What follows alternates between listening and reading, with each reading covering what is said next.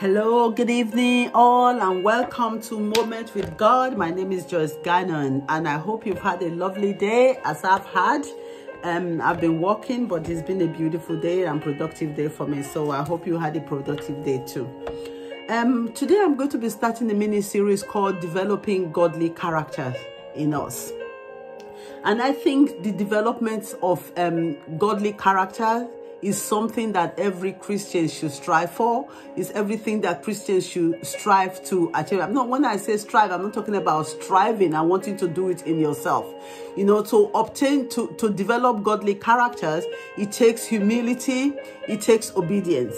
So humility meaning submitting all your flaws, everything to God and saying, God, I cannot change myself. I cannot I cannot produce um, whatever it is that needs producing in you uh, um, yourselves, but that you know with the help of God you can. So developing godly character that I'm about to talk about, I'm not saying that we should um, strive or work hard to attain it, but just like acknowledging where we are weak in different areas and submitting those areas to, to God and submitting, surrendering ourselves to the Holy Spirit for the Holy Spirit to show us different aspects in our lives. Because all the things that I'm going to be pointing out in this series, they're not going to be just um, we are all not going to be in the same place. So some of us, we've conquered that um, some areas of um, of weaknesses in our lives while other people have not. So it's going to be different. But whatever it is that you are struggling with you you know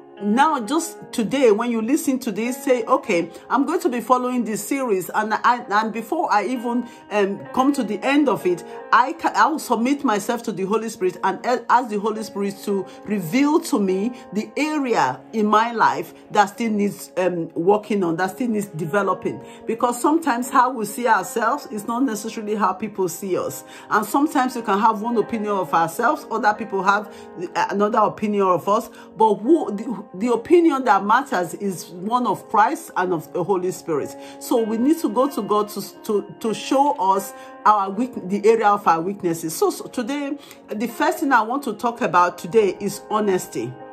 You know, honesty is marked as being free from this from deceit or untruthfulness or uh, being sincere. That's what honesty is.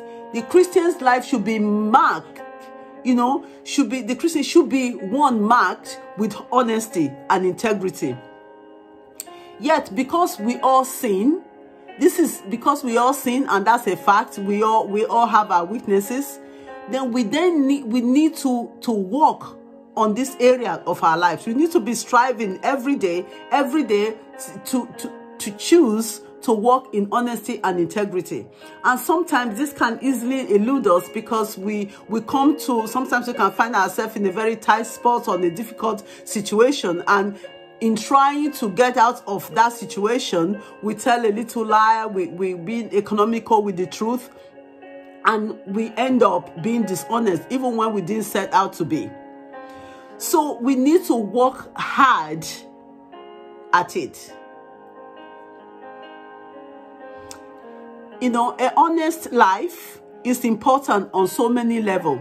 From our relationship with our spouse, to our relationship with our work colleagues to our managers, the things we do, how we carry out our work when people are there and when people are not there. Those things are very important. They are important not just to you, not just, you know, for your life, because honestly when you walk in um, insincerity and in deceit you are you are on edge all the time you know, have you ever heard the frame that if you tell a lie, you have to tell another lie to to to to um you have to tell another lie to cover up the previous lie. So you are continually lying. And at the end of the day, you won't even remember what you said that was untruth or what is true or what is false anymore. Because you just become a pathological liar. Even though you just think uh, you used to say oh it was just a little lie. I said a little lie. But next time when you are in a meeting you have to remember the lie you told the previous time. And then you have to come up with another lie to quickly cover up the previous lies so to walk in honesty and integrity is freeing for us as Christians, even for people who are not Christians, who are not um, believers, is is free for anybody to live your life as an open book. you know? And you know matthew um 7 16 tells us that we are known by our fruits. So let us be examples of a god of truth that we serve a god of truth and life and live our life by living lives of integrity and truthfulness what does Second Corinthians tell us? Second Corinthians chapter 8, verse um, 21 say, For we are for we are taking pains to do what is right, not only in the eyes of the Lord, but also in the eyes of men. So when we are at work, for example, that's work workplace is, is an example. When we are at work and we are known as people of integrity and truth, sometimes people will come to you they want your opinion because they say, I need somebody to tell me the truth. I need to know the real truth about this. Why don't you, you know, try to be the go-to person in your place of work? That when people want to find out the truth and they want to, they want somebody with integrity, they want somebody they can trust, they want somebody they can rely on, and they come to you. That, you say, by their fruits, you shall know them.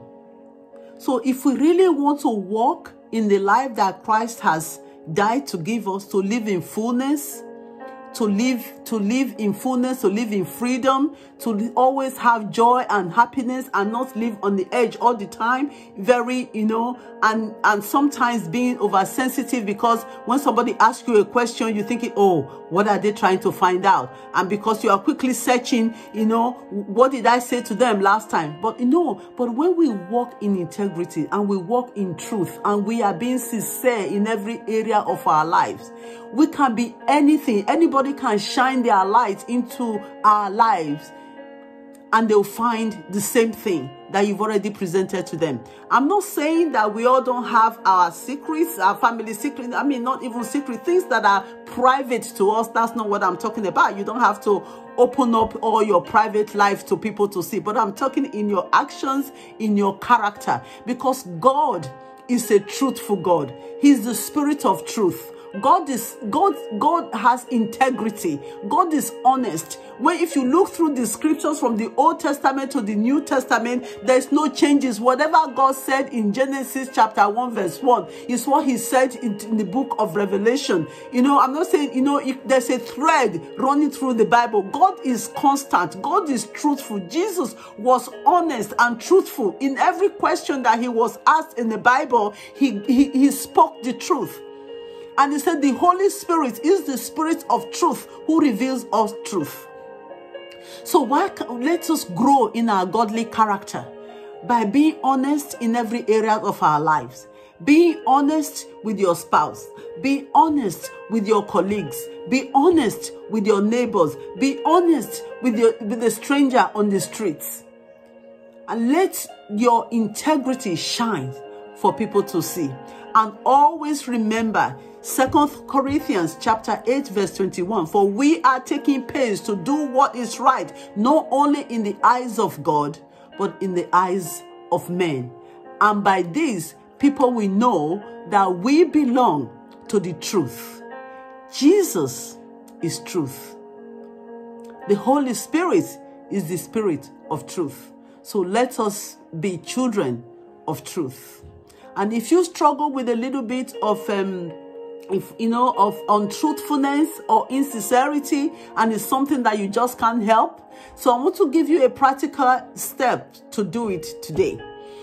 First of all go to the scripture search out all the words that have to do with honesty and integrity in the bible and then start to meditate on those scriptures and then when you wake up in the morning, before you start your day in your devotion time, commit your days in the hands of God and say, Holy Spirit, today, as I walk through today, help me to be honest. Help me to stay, stay true to you. And every time that I want to say something that is untrue or that is insincere, give me a check in my spirit. And if you truly do that and you truly mean it, the Holy Spirit is so faithful. When you come to a tough decision, when it would have been easy for you to lie, the Holy Spirit will remind you to tell the truth. God bless you and keep you and help you to grow in his character. In Jesus' name, amen.